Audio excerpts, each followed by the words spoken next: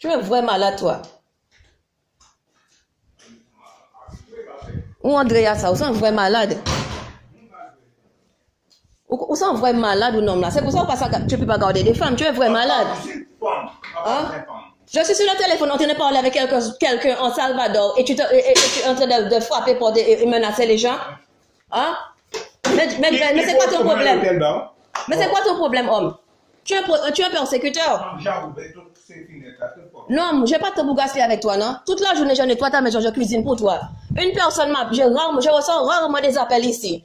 Et, une personne m'appelle de Salvador, un homme, et tu commences à me menacer. Où ça va tout porter, si vous voulez? Tu as, tu as un problème mental, je sais ça. Tu as un problème sérieux, même, même, même, même, même. Tu veux m'interdire de parler avec les gens? Ça, c'est tout. Un qui pas touché moi. Bon, pourquoi moi jouer Tu, et tu veux m'empêcher de parler avec les gens sur le téléphone? Tu es malade, toi. Toute la journée, ton téléphone sonne, tu parles avec des gens. Je reçois rarement des appels et tu essaies de me menacer. Hein? Tu vois pas que tu es malade, André? Uxin? Hein? Une personne m'appelle dans notre pays très loin, très pauvre, et tu commences à menacer. Tu es malade.